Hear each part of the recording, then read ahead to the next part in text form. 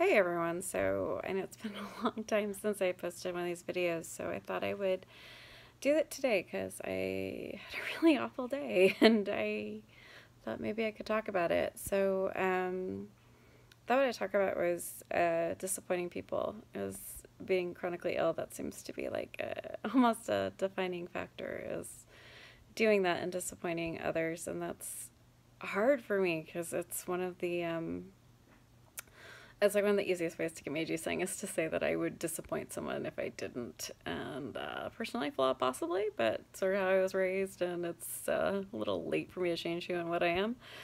Um, so today I really disappointed someone, and that was hard. Um, some of you know I have a podcast. I run Invisible Not Broken. It's interview podcast, usually um, for other people who are sick and um, have chronic or invisible illnesses. And oh, I made someone mad, and she has every right to be mad at me. Um, this was the second time I blanked on our interview, and wish I had a really good excuse. I don't. Um, I'm just sick, and I I had to up my medication drastically over the last month or so, and it's led to a lot of problems with remembering what to do and when to do it. Um, so again, second time I forgot, she has every right to be mad at me, and I feel awful. I don't really know how it happened because I thought I had put it in my calendar somehow, and it was not my calendar. So, um,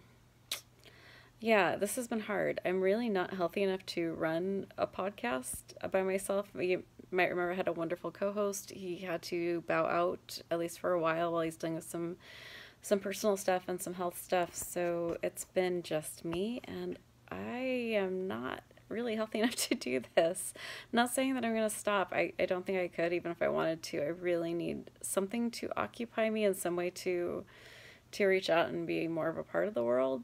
Um, but since I'm on disability, I really can't afford to hire someone to help. And um, also, the podcast isn't something that I make any money off of, so I, I don't have any way to justify getting help. But really do need it. Um, I don't know if we're going to go to a different format where I only post videos or um, not videos, but sorry, episodes once a month or maybe once every other week. I, am really not sure what that's going to look like. All I can say right now is I am really too sick to do this on my own and I feel really bad. Um, oh, I just, it was one of those things where I saw her, her email pop up and um, she was not rude at all, by the way. Please don't get me wrong. She was she was probably not even that mad. I I just saw that I did something wrong and I instantly went tail between legs and oh my god, just ah, I can't believe I did that. It was that sinking stomach feeling of just knowing you really screwed up. So I'm not really sure. Um, anyway, I'm not sure if I'm just whining or I just uh, need to talk about it, but there you have it. And I realized I hadn't posted anything for a very long time. There's a lot going on here.